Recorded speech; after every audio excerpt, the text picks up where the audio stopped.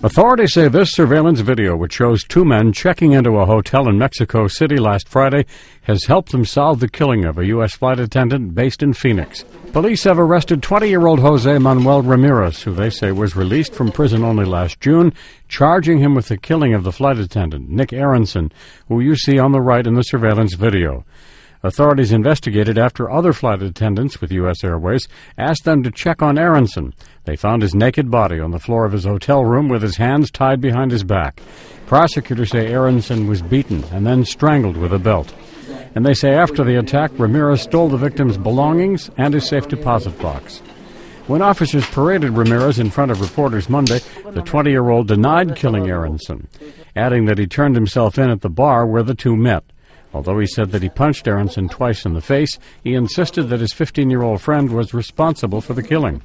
Ramirez says when he left the hotel, the victim was alive. Brad Thomas, The Associated Press.